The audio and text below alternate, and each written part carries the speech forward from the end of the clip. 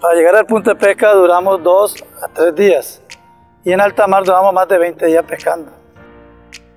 Las capacitaciones que nos van a dar el INA nos van a servir para encontrar unos mejores puntos de pesca y así tener una pesca más sostenible.